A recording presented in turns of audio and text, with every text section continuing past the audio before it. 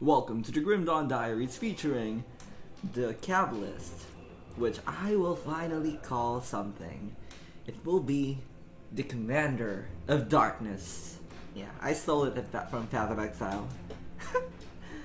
Guess I like playing Witch and minion builds. So yeah, I I I I am done with everything. As you can see, I have 20k HP, 2.6k DA, and yeah, also pets have pretty good health. Okay, damage, eh, it's, it's a good damage. And then the resistances are pretty good. Just the bleed rest though for Kuba is very bad. And also it's looking very, very, very fine. Look at that purple looking set. Excuse me. Yeah, I'm gonna go ahead and finish it off. Kill Theodin Marcell. And yeah, that this is just it. Let's just shotgun through. See how fast he dies. Pretty fast. That's with having 20k HP, entry of life, and Ishtak. So, that's pretty good. Also, I did I got one point in Mend Flesh so that I can have more tankiness and everything. So, uh, I think I have a lot of healing. I got Tree of Life, I got Blood of Dreeg, I got Ishtak for additional DA for the pets, DA and the OA, and then there's Mend Flesh. And what else? Yeah, I got a lot of protection. Because I do also have Turtle, and then I also have Mark of Divinity. So, my goodness, if I die, it's gonna be such a careless death. Because Mark of Divinity, that's 3% of invulnerability. And then I think it works really well with Turtle because if it, they proc at the same time, then the Mark of Divinity goes first, and then the turtle only disappears when I when I get when I lose a mark of divinity, which is I think how it works.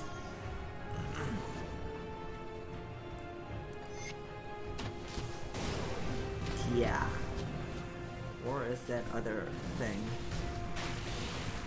Also, the thing that's really kind of annoying with pets is that most of the time you don't know what's going on. Also, this is on low graphics. I can't imagine playing it on high graphics. It would look so much messier, probably. And maybe even more stupid with a screen shake. Die. Effortlessly die. Also, in addition, I do get the heal from Mend Flesh, which is much better in the recent patch because pets tend to cast skills more often, and then the energy problems from the Raven, from the Familiar, is no longer existent because they bump the energy regen, lessen the energy cost, so it's gonna cast it all the time. It's also very reliable on the Summoner, but not as reliable for other pets. I don't know, still gotta test it out. Look at that! Oh my goodness! what the fuck? What the fuck even?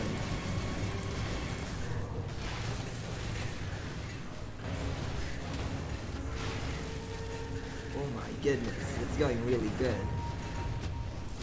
And none of them are even dying. This is gonna go really fast. Die! With all the procs! Damn! Damn!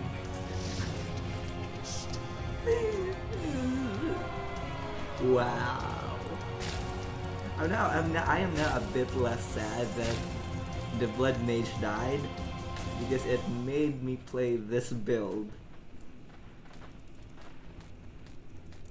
This is the Cabalist I made earlier, like earlier like in the last past month or past weeks. And I just decided to continue it and gear it up. And yeah, this is the Commander of Darkness.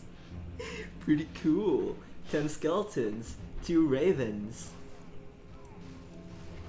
2 ravens. And also, because of the double double familiar, that's why I decided to get Mend Flesh because it's literally two heal bots. And also also the loading time is so long. Also, I do have plus 3 to Mend Flesh, so I only have 1 point in Mend Flesh, and that gives me a 6% heal, which is pretty nice. What's this? Mm, another nonsense. More nonsense. Uh, mythical. Yeah, that's good. That's good. I have, I have, I have it already, but it's a nice ring. It's good for vitality builds. Uh, yeah, I guess that's it. 10 skeletons, 2 ravens, 1 hound, 1 revenant, and a lot of HP, and a very decent DA. And also, yeah, I forgot to mention, I both use the Fiend Flesh, Greaves, and Mantle, so that's 10k damage absorption, another 10k from the boots. Pretty nice. The stats are average. 97%, I think that's pretty good. It's not super good, but it's decent. The damage is okay. The reason I say it's okay because I'm not, I'm, I'm, I'm at 1k without conversions, without any bonuses. And the life is pretty decent. That is 176 176% life with only one point in Bonds of Bysmiel. One point. And it, it has seven bonus points. Also, capped skeletons, nearly capped Will the Crypt. Under the Legion is at 16 because I can get it to 18 and I'm going to be missing two more points to get an additional skeleton, which I can get if I change the pants, but I like the Wild Wildstorm Legguards. I mean, it, it has good damage, but mainly because it has a lot of HP and a lot of DA. And uh, retaliation is just it's just a bonus. It's very good. This build this build feels very good. I'll go ahead and make a build guide for this. And also for the Blood Mage, I'm I will I will revive it so that I can test how, I mean, I can make a video of it doing Crucible and just to expose how far it can go. And then also I'm going to make a build guide for that but it wasn't really that super amazing. Yeah and I'm just gonna kill it again. I really just want I just wasn't able to make a video for Crucible and a guide for it. That's why I'm reviving it.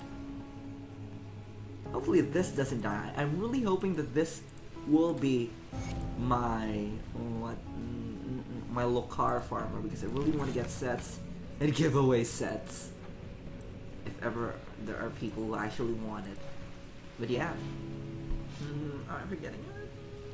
Also, I fought Kuba, which I will I will talk about it later when when I fight it again.